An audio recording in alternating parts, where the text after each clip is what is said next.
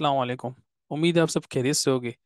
आज तीस अगस्त 2024 महीने का आखिरी दिन है और आज की हमारी प्रेजेंटेशन पहले तो पाकिस्तान स्टॉक मार्केट को कवर करेगी, इसके बाद हम आगा स्टील पे बात करेंगे क्योंकि आज देखा हमने एक अननेसेसरी इसमें एक इंक्रीज नज़र आया जो कि कंपनी को इतनी ज़्यादा इतनी ज़्यादा इतनी ज़्यादा स्ट्रॉन्ग कंपनी नहीं इसके बावजूद इसमें इंक्रीज नहीं है तो इसको हम क्विकली कवर करेंगे।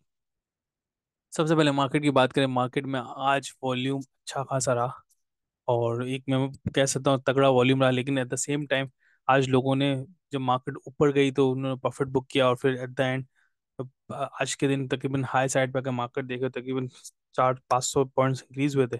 फिर at the end close market ने one thirty eight point positive पे क्लोज हुई जो कि मैं समझता हूँ आई थिंक ये इंडिकेट करता है कि जब ऊपर मार्केट गई तो लोगों ने प्रॉफिट बुक किया और काफ़ी लोगों ने अपनी पोजीशंस क्लोज की।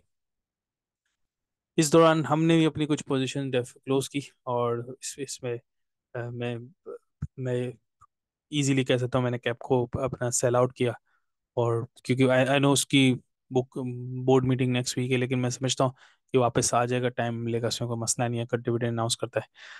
बाकी आज भी प्रॉफिट टेकिंग वाली स्ट्रेटेजी रखी मेजोरिटी लोगों ने। एमटीएल के बारे में अगर मैं थोड़ी सी हाई लेवल बात करूँ, मुझे बड़ा इंटरेस्टिंग शेयर लगता है फ़िलहाल। जब ये नीचे गया जब मैं बोल रहा था इसको बाय करना चाहिए तो लोगों ने आई थिंक लोग कंफ्यूज थे कि बंद हो जाएगी, साढ़े चार सौ जाएगा। I think is a very strong share और आपको हर डे पे अपॉर्चुनिटी होती है, मैं समझता हूँ। तो हमने आज देखा तकरीबन फोर नाइन्टी फाइव के करीब किया था।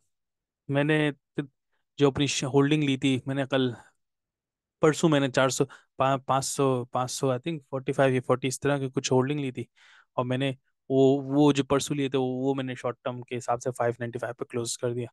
तो which is very good at the same time मेरे पास लॉन्ग टर्म होल्डिंग पड़ी हुई और मैं स्टिल इस, पर एक स्ट्रॉन्ग स्ट्रॉन्ग कंपनी बोलूँगा फॉर फ्यूचर एंड ऑल्सो इसकी इसकी बोर्ड मीटिंग भी नेक्स्ट वीक है तो मैं मुझे ऐसा लगता है ये फ़िलहाल जो वैल्यू नीचे गई थी वो उसकी कोई मे भी कोई रीज़न हो कि शेयर की वैल्यू नीचे करनी हो और उसमें बाय इन करना हो किसी ने आई डोंट नो लेकिन ये मुझे ऐसा लगता है हो सकता है कोई अच्छा रिज़ल्ट आए। ये वजह भी उसे। एनीवेज आज का टॉपिक नहीं था, आज का टॉपिक बेसिक आगा स्टील के हवाले से था। इस पे मैंने आज नोट किया काफ़ी एक सिग्निफिकेंट सर्च हुई मतलब एक प्राइस में काफ़ी ज़्यादा हाई नज़र आया। अगर अगर स्टील में मैं थोड़ा हाई लेवल बात करूँ, ये बेसिकली स्टील कंपनी है स्टील बनाती है। दो, चार साल हुए आई थिंक इसको लिस्ट हुई हुई लिस्ट हुए हुए। और लिस्ट इसने करने का मकसद ये था कि आवाम से पैसा उठाना था, उसको अपनी एक्सपेंशन करनी थी अपनी फैक्ट्री में।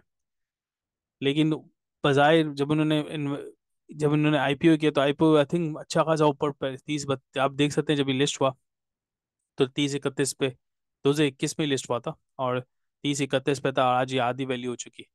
अच्छा जैसे ही आज अनाउंस हुआ हुआ, तब आधी वैल्यू हुई, आज अनाउंस हुआ तो इसमें इतना इंक्रीज आ गया, जो कि मैं समझता हूँ एक शार्प इंक्रीज इसलिए था कि इसमें आज एक अनाउंसमेंट भी आई थी।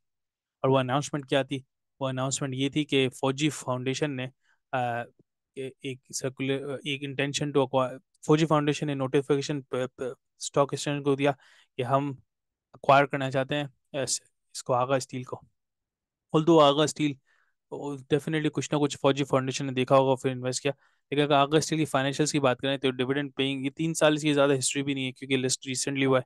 और जब लिस्ट हुआ था तब इसने पाँच परसेंट बोनस दिए थे इसके बाद इन्होंने कोई इतना खासा कुछ दिया नहीं। अच्छा एक लेकिन इसकी फाइनेंशियल परफॉर्मेंस की बात करें फाइनेंशियल परफॉर्मेंस इसकी कोई खास नहीं रही और पुअर ही रही। मैं इसके अकाउंट्स की बात करूँ तो मुझे आई डोंट नो क्यों मेरा ये व्यू है कि अकाउंट्स भी कोई मतलब एक बहुत ज़्यादा इंप्रूवमेंट की ज़रूरत है, क्योंकि लिस्टेड कंपनी अकाउंट इस तरह से नहीं होते। खासतौर पर हम देखें, इन्होंने एक एक लाइन यहाँ लिखी है अपने दिसंबर वाले अकाउंट्स में कि इनके फायर इंसिडेंट हुआ 2024 में। 2024 तो अभी आया भी नहीं है भाई दिसंबर 24 कहाँ आया अभी? तो इस तरह की बेसिक मिस्टेक्स इनके अकाउंट्स में प्लस इनके अकाउंट्स में ये फ्यूचर प्रोस्पेक्ट में पत, नहीं क्या लिखना चाह रहे क्या कहना चाह रहे तो क्लियरिटी नहीं है कि भाई इनका मकसद क्या है कि फ्यूचर कंपनी का क्या आउटलुक क्या है। इसके बारे में इनकी क्लैरिटी नहीं है। तो विच इंडिकेट में दैट के कंपनी में मेजर मैनेजमेंट पॉइंट से भी कुछ ना कुछ इंप्रूवमेंट पॉइंट्स हैं जो उसको कंपनी को देखना चाहिए।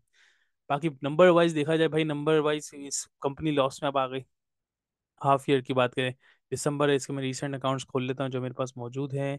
मार्च के अ, मार्च में भी लॉस पे थी साढ़े तीन रुपये लॉस पे थी। पिछले साल मार्च में ईपीएस पॉजिटिव था इस बार साढ़े तीस रुपये नेगेटिव है विच इंडिकेट कि इन्होंने बड़ा एक मतलब एक नेगेटिव साइड पे जा रहा है। मेजर कॉस्ट अगर मैं इसकी बात करूँ इसका टर्न टर्न ओवर भी कम हुआ है और पंद्रह अरब से ग्यारह अरब हुआ है पंद्रह पॉइंट फोर से ग्यारह तक बारह अरब हुआ तीन अरब का टर्न टर्न ओवर रेवेन्यू कम हुआ है। At the same time net number भी इसी तरह से कम हुआ है। फाइनेंस कॉस्ट इनकी इंक्रीज की है डेफिनेटली एक इंटरेस्ट रेट हाई अभी हाई पे, और स्टील इंडस्ट्री सबसे ज़्यादा सफ़र करती है क्योंकि काफ़ी ज़्यादा इन लोगों के पास लोन है। तो ऑब्वियसली फौजी फाउंडेशन शायद इस तरह देखा होगा कि इसकी इंटरेस्ट एलिमेंट को अगर हटाएँ तो ये प्रॉफिटेबल कंपनी बन सकती है, क्योंकि वो अपने पैसा लगा के कंपनी को चला सकती है। और नो डाउट इनकी स्टील प्लांट वगैरह सब रिसेंटली एक्सपेंड किया है तो सब नए तो इनकी कैपेसिटी भी इस हिसाब से अच्छी होगी एफिशिएंसी भी इस हिसाब से अच्छी होगी। तो ये चीज़ को फैक्टर रखा। मैं इसमें क्या करता हूँ, मैं बेसिकली अगर आज ही अक्वायर नहीं कर अक्वायर नोटिफिकेशन नहीं आया होता तो शायद मैं इस पर कभी इन्वेस्ट नहीं करता, क्योंकि मुझे इसकी मैनेजमेंट पे थोड़ा सा कंसर्न है। और अगर इसकी मैनेजमेंट देखा जाए, मुझे ऑब्वियसली लोगों से मुझे कोई कंसर्न नहीं है कि कौन लोग हैं, लेकिन कंपनी के रनिंग के पॉइंट से ना एक फैमिली ओन बिज़नेस लगता है।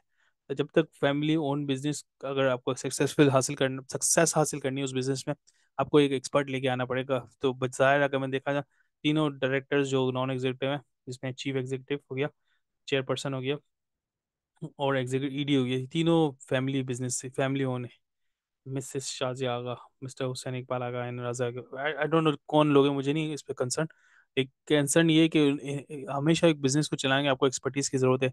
अगर नहीं है then you should bring people from outside जो मुझे फ़िलहाल नज़र नहीं आते मतलब ऑब्वियसली वो लोग नहीं है जो डिसीज़न मेकिंग का पार्ट है। That's that's a point that's और ये क्लियरली इंडिकेट करता है इनके अकाउंट में basic mistakes errors clearly indicate करते हैं कि मसला हो हुआ है और ऑपरेशन को सही से एफिशिएंटली चला नहीं पा रहे।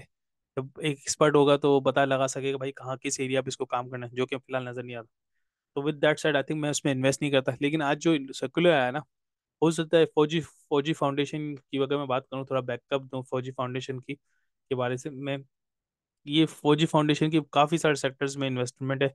ऑल दो नाम से ऐसा लगता है फौज ये अस्करी फौज से रिलेटेड है, जो कि द आंसर इज़ यस उससे रिलेटेड है, लेकिन एट द सेम टाइम इनकी एक्सपर्टीज भी हो रही है। और काफ़ी कॉन्ट्रैक्ट्स के हवाले से इनको बड़ा एज होगा। अगर स्टील इंडस्ट्री में इनका मेरा नहीं ख्याल, पहले इससे पहले हाथ है, लेकिन अगर आगा को स्टील में इस इस सेक्टर को अगर इस, आगा स्टील को अक्वायर कर लेती है तो मैं मैं समझता हूँ काफ़ी सारे गवर्नमेंट कॉन्ट्रैक्ट इनके पास आ सकते हैं, जैसे रोड हो गए हाईवेज हो गए डैम्स हो गए तो तो एक बड़ा पॉजिटिव लेके जा सकती है। विद दिस सेट आज इसकी प्राइस नाइन अपर लॉक लगा और बीस मिलियन का वो लगा। पाकिस्तान में सबसे बड़ा एक मसला ये है कि पाकिस्तान में सारे शेयर अंडर वैल्यूड है और शेयर की ट्रू वैल्यू तभी पता चलती है जब उस पर कोई बायर आता है। या, तब बायर जब आता है तो लोग उसको बाय करना शुरू करते हैं क्योंकि बायर वो प्राइस देगा जो मार्केट में चल रही है। तो लोग इस इंटेंशन से बाय करना शुरू करते हैं।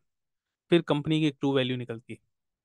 तो मुझे ऐसा लगता है कि कंपनी ऑपरेशन पॉइंट से फ़िलहाल अच्छी नहीं है लेकिन उसके फ्यूचर आउटलुक अगर ये फौजी फाउंडेशन को अक्वायर कर लेती ना तो अपने हिसाब से चलाएगी विच इंडिकेट कि भाई एक पॉजिटिव आउटलेट कंपनी के लिए आ सकता है। और फिर स्टील इंडस्ट्री के से, से मैं थोड़ा सा रिवोल्यूशन तो नहीं बोलूँगा एक थोड़ी इंप्रूवमेंट साइड में जा सकती है कंपनी अगर मौका मिले इसको थोड़ा लेके आप रख लो होपफुली कि आपको प्रॉफिट दे जाएगा आने वाले एक साल में जब ये एक्विजिशन कन्फर्म हो जाएगा। इट यही मेरा व्यू है।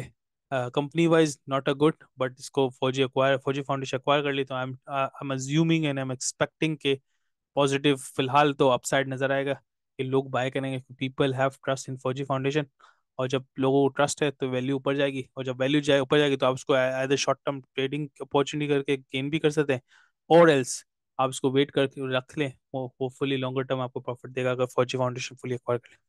आई थिंक दैट्स इट ये मेरा व्यू इस शेयर के हवाले से। कोई चीज़ मिस आउट की तो बताएँ इन मैं कवर करूँगा अपनी नेक्स्ट वीडियो जजाकल्ला वालेकुम।